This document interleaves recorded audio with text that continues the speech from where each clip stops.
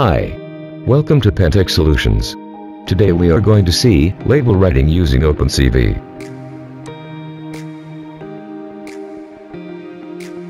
Python OpenCV.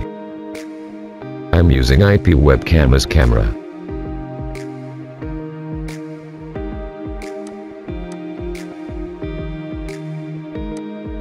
First connect the Raspberry Pi and remote desktop.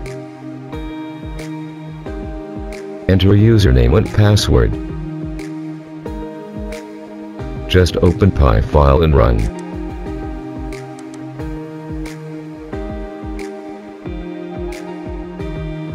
Set the IP address for IP webcam to capture video.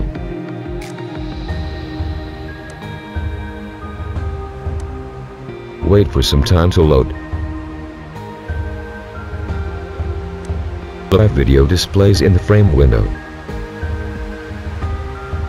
Show any document to read.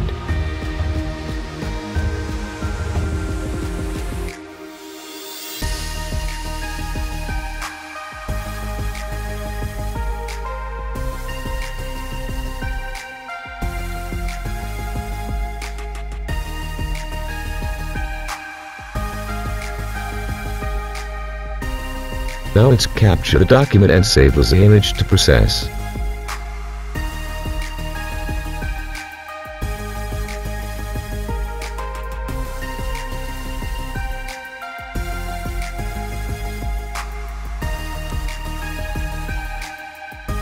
We can get the document and image from our project folder.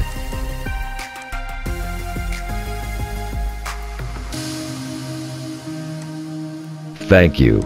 For more details about this video www.pantechsolutions.net